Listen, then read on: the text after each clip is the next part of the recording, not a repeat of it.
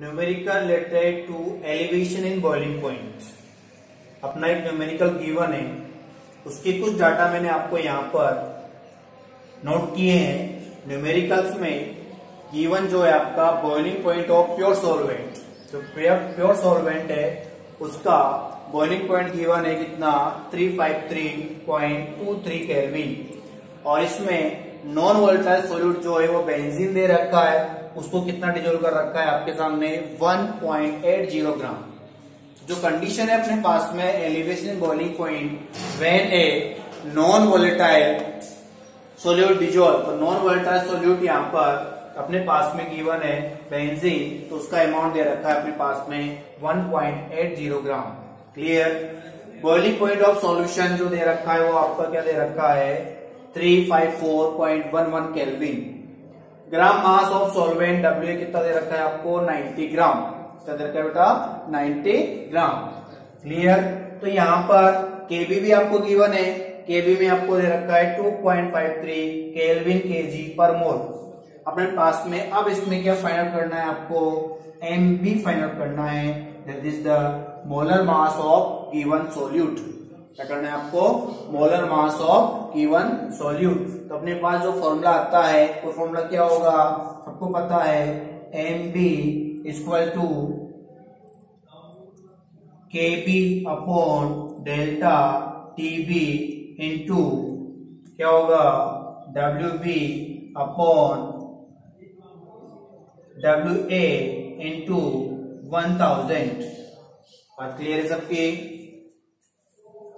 M B equal to K B upon delta T B into W B upon W A into one thousand अब यहाँ पे देखिए कौन कौन सी value अपने पास गिवन है और कौन कौन सी वैल्यू आपको कहीं से लानी होगी? तो देखिए के बी आपका गिवन है क्लियर पुटअप कर देंगे। डेल्टा टी बी कहीं नज़र नहीं आ रहा आपको तो इसको फाइंड आउट आपको करना होगा।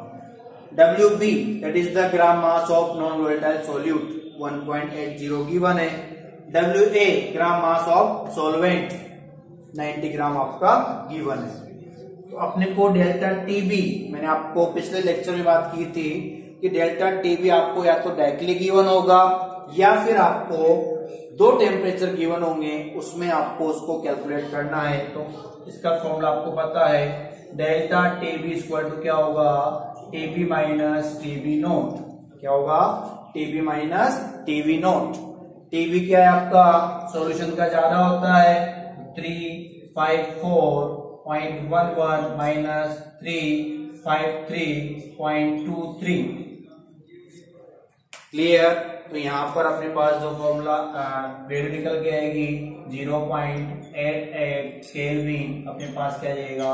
डेल्टा टीबी और आप इसकी वैल्यू पुटअप करोगे तो अपने पास फाइनली फॉर्मूला आंसर क्या जाएगा आपका? एम बी क्या जाएगा अपने पास में? M B that is the molar mass of solute क्या जाएगा? मोलर मास ऑफ़ सोल्यूट तो आप इस तरीके से वैल्यू आइडेंटिफाई करके जो फॉर्मूला है, वो आपका एलिवेशन ऑफ़ बॉइलिंग पॉइंट का यूज़ करते हुए मोलर मास फाइंड आउट कर सकते हो, या मोलर मास गिवन है और वैल्यू गिवन है तो डेल्टा टी भी आप यहाँ पर फाइंड आउट कर सकते हो।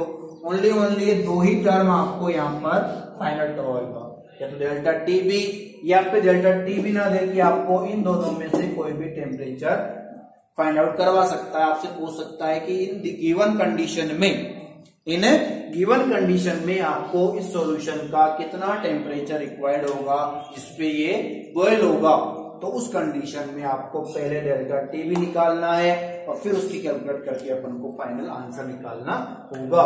तो इस तरह से गिवन वैल्यूज़ में सबसे इंपॉर्टेंट क्या होता है आपका? आइडेंटिफिकेशन अगर आपका आइडेंटिफिकेशन सही है कि कौन सी वैल्यू किस टर्म की है तो अपन पूरा न्यूमेरिकल यहाँ पर सोल्व कर सकते हैं और आपका आंसर क्लियरली आ जाएगा। तो इस प्रॉब्लम में आप वैल्यू पुटअप करना। आपका सॉल्यूशन में भी दे रखा है। आपका जो पीडीएफ फ़ाइल है, उसमें पूरा सॉल्यूशन है बट मैंने आपको एक्सप्लेन करने के लिए सारी वैल्यूज़ गिवन है। इसमें आप वैल्यू पुटअप करना, अपना आंसर क्लियरली आएगा। आज की क्लास में इतना ही स्टूडेंट्स आई होप आपको ये सारी चीज़ें क्लियर हुई होगी। Thank you students